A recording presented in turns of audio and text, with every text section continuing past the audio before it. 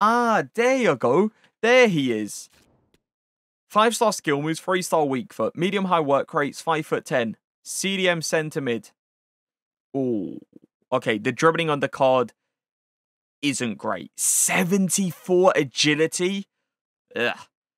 Wow, he's not going to turn good on the ball at all. Even with like five star skill moves, yeah, the 74 agility for a player that's five foot 10 it's not great. The pace on the card is, I guess, all right. Stick him on a Shadow Chem style. Definitely a Shadow Chem style with him having 97 aggression already. How much? Bronze Silver, 82, 86, 88. Okay. That's a bit. It's not like crazy. I don't think that's 300k. I think that's less than 300k. I'm not sure exactly.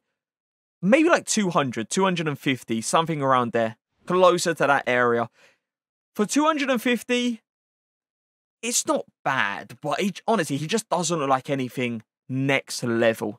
That agility is going to hurt him. 74, Whew, it's low, isn't it?